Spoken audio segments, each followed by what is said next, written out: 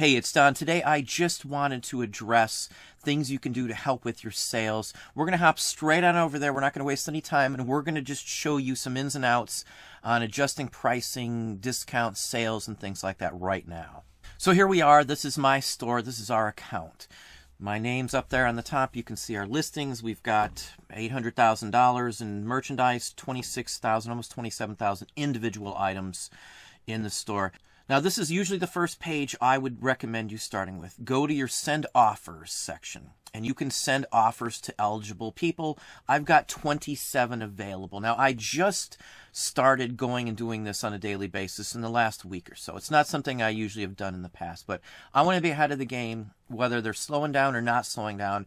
I'd rather sell as many items now at this point instead of waiting on a little more cash for some of them, just to be safe. It's always better to be safe than be sorry. So if you go down here and see send offers, I've got 27 eligible. Now, if you watched other videos of mine, you've seen days when I've had 1,200 to 1,500 offers that I could send to watchers. And again, as I said, I am keeping up with them now. So every day or so, I've been sending out 60 or 70 on average. I sent out 64 last night.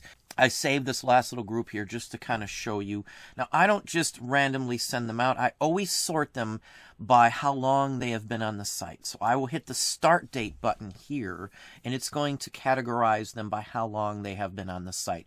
And these are the ones that I'm going to go after first click on the send offer button. You can do them in groups if you'd like, but at this point, I've had this item up for several years. I've already made a phenomenal amount of money on it. I'll be happy with $20 on it. So in fact, let's just do it $19.99. I only have a few more of these left. This is one of the ones that's just nothing special, so I'm going to send that one out. Now, in some cases, I've sent a notice to everyone or added a cut and paste line. I don't do that anymore. It doesn't seem to make much difference in sales coming or going. I still allow the option for them to make an offer, though, when I do send sales up. I can just refuse it if I don't want it, and then end of story. So that's the gist on that. I just literally go down through these based on how long they've been on the site as to how much I would be willing to take on them. And if you look right here, you can see these have been up on the site for four years. I know other people will say that's crazy to keep something up for that long, but we sell items pretty much every week that have been up for any length of time, all the way back to the beginning days of eBay. Somebody's watching this item and interested in it right now, and it's from 2016. So I don't really worry about how long the items are on. It's not that big of a factor for us with the amount of sales we have. So again, we can send another one. Here's another one of another item that's been up for a little while. Something I've had around. Let's go ahead and send a $14.99 offer. This is a dollar item, if I'm not mistaken. Yeah, a dollar item. $14.99 I'm going to send an offer to. Now, if you send enough of these offers out, you're going to get some sales. Basically, before I sent these last couple items out, I had about $1,000 worth of merchandise I could get sales out of by sending these offers to watchers. It's all different types of material that I have. You can see some new jewelry that went up and all kinds of other things. I don't usually hit the ones that just went up very often at all. Might be a different time frame now with everything that's going on that you may want to go and start just hitting them all other than maybe the ones you just put up a week or 10 days ago. Those I usually let ride. This was just put up last night, so I'm no way going to make a uh, counter or any kind of offer to the buyer. Same with pretty much all of these items right here. So that's the first thing you want to do is check this out. Send these out as frequently as you can possibly do. If that means you go in there and check them three times a day, I would honestly recommend doing that right now. Not to panic or anything like that, but just send them out as you can. Keep in mind that the offers that you have on there change all the time. If that person who is watching one of your items and you were thinking about sending an offer to them gets a bunch of offers from other people, other sellers for other items they're watching, you may not have the ability to send that person an offer anymore. That's why I say three times at this point seems to be a good gist. So I do it in the morning, I do it in the afternoon, and then I do it in the evening. Hence the 64 we sent out last night. So keep on these. That's what I would honestly say. I've still been selling. I'll give you another hint too. I've been selling a lot of sheet music. Somebody else made that same comment in one of my posts, and we sold a bunch this morning. I had several people buy sheet music, including one that bought several all at the same time. So it's going to be some free time. Maybe they want to do that with their free time too.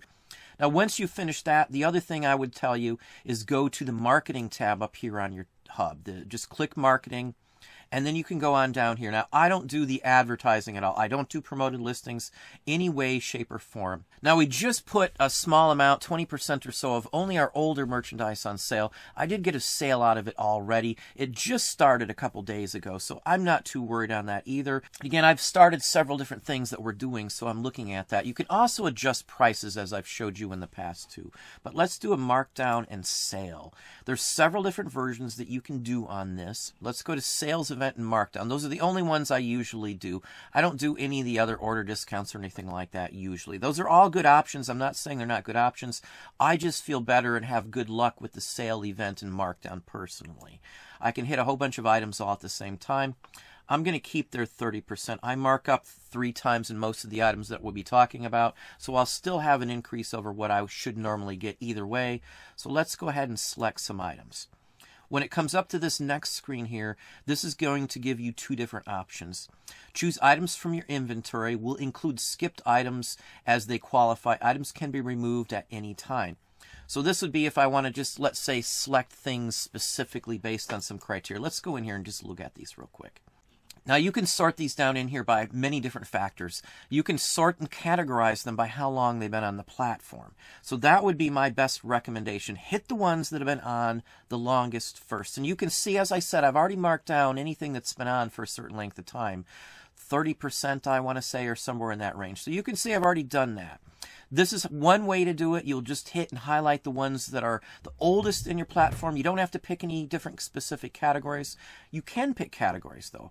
If I want to only mark down uh, store categories, now I can pick it by eBay category or I can pick it by my store category, whichever is easiest or you want to mess with. So let's say I'm going to pick clothing and shoes. So I'll click that and it's only going to show those items. And I already have marked those down as I said. Not all of them necessarily because they've been on here the longest, but because a lot of these items I don't care to mess with much. I don't mess with clothing now, some of my jewelry would be under clothing too, belt buckles and things like that. I do put those under accessories. So that's what I got on this for that. I'll just go ahead and do it that way. All you do is click the ones that you want. It's going to add them down to your select option down here, and then you confirm selection. Now, I've already done it, so we're not going to go in there. Now, if you're doing big groups too, you can eliminate ones that are below a certain amount. So let's say you don't want to mark down anything that's below $9.99. You add $9.99 to whatever the amount is. Well, in fact, we can just do that up to say $999. So anything between that will be included. Anything above that or below the $9.99 won't be included in here. You can also filter it just to show days on site. So if you want to just mark down those from a specific date, you can go ahead and click uh, 1400 and then enter whatever time frame or date wise you want. You can exclude discount items by clicking this little button here. So that means if something was already discounted, it's not going to be included in here. So this weeds out all the issues that you can have by crossing different uh, markdowns at the same time. This will eliminate anything like that all at once with one button. And again, once you pick the ones you want, you've highlighted them, you've clicked the radio button, you just confirm selections. That's all there is to that. And it's going to post them as a markdown. Now, the other option is create rules using categories. This one works just as well. I use them both. Now, we've done some other discounts like group purchases and multi purchases. I do that occasionally with free shipping. If you buy more than, say, three items or, or whatever the case I want to do, they may get free shipping with it. So that may be an incentive to multi pack things together. Just FYI. Now, again, I'm just going to pick out the 30% here. And this is selecting it by a category specifically.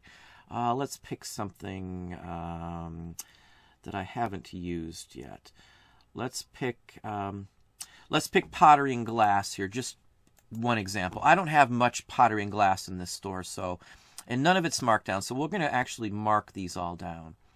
So uh, let's see, pottery and glass. You can select the amount price-wise you want, and then you can add other filters as well. And with this other option, you can click New, Manufacturer Refurbished. You can only do the Seller Refurbished. You can use Used, whichever one of these you want to use as well to add to this.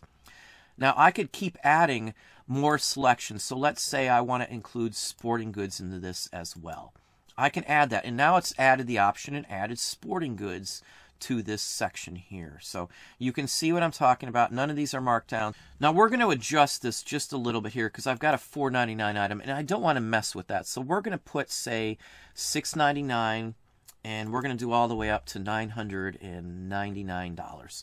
So basically, that's going to remove anything that's below $6.99 and not put that on sale. You saw a tile up here that I had for $4.99. It's now gone from there.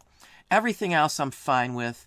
These are items that I've had setting for a little while, so we're just going to go ahead and save and review this. From here, you can add a name or title or whatever you want. This is just for you, so I'm going to put sports and pottery and glass. And so at least I know, and then I'm going to add the 30%. You can do whatever you want for the title on here. Include skipped or new items when they qualify.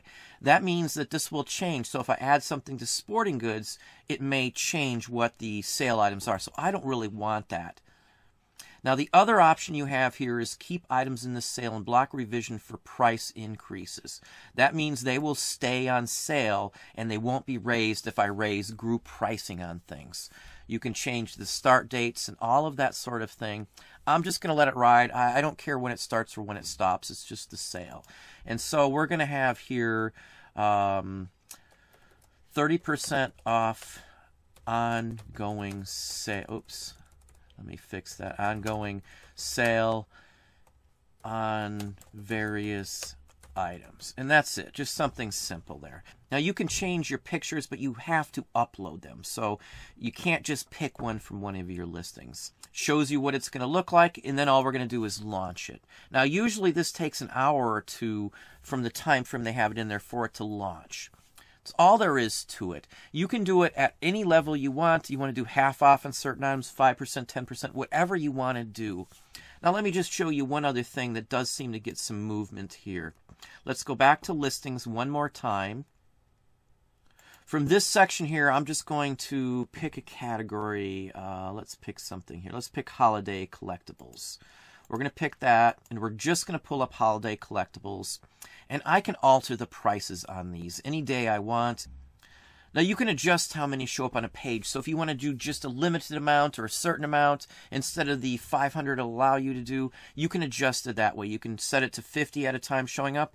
Just click the button here. It's going to just highlight those 50 that's on that page. Now I'm going to edit 185 listings, all of them at once, which is the option. It will allow you to do 500 of these at a time. You'll have to let it process and pull them up into this listing panel before you can do anything though. Now from here, what you can do to get some movement, I'll select them all.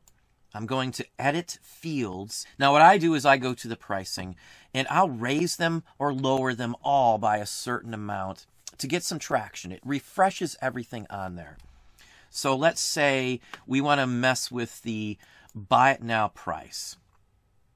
We want to increase it all we want to increase it all by, let's say, just a dollar. So I can go ahead and save it all and add a dollar to every single listing. So instead of 2750 or 1850, you're going to see 2850 and 1950 on those same listings. This categorizes and changes every one of those items just a hair. So you can see the difference right now. It's altered every single one. So if I go in and submit this, it's going to process them all, and they're all going to get movement like something major was changed on them. As I said before, key things that are tied to the listing are price, title, and photo. If you change one of those, it's going to readdress your listings because either if you change the price, it's now in a different section. If you change the photo, it's elevated something in the listing and there's action, activity on that listing. So I do do this fairly often. I can go back in and change them if I want. I can go back in and lower it again in another month. If you combine all of these activities, you should see some sort of increase, at least get some sales in from doing this if you've got some good items. If your items are bad, your photos are bad, your titles are bad, you're overpriced or something, you may not see much traction no matter what you do until you fix those issues. But that's what I have for you today. I really honestly and sincerely hope that some of this will help you increase or bring some sales in if you are having issues. Well, there you are. Hopefully that gave you some ideas, some thoughts on this. If you enjoyed the video, please hit the like button down below. You can also hit that bell icon to be notified if I post new content or go live. Subscribe and tell all your friends.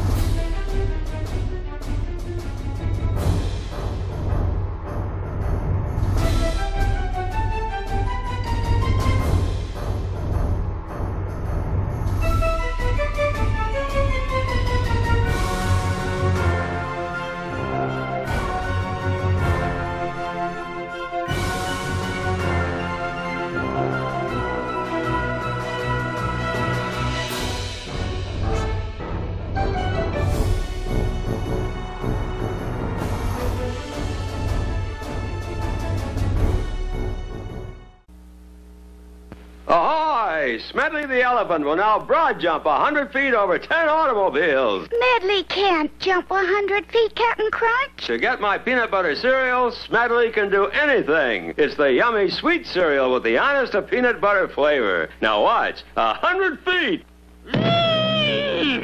Uh, make that 101 feet. Cap'n Crunch's peanut butter cereal, a tasty part of a nutritious breakfast.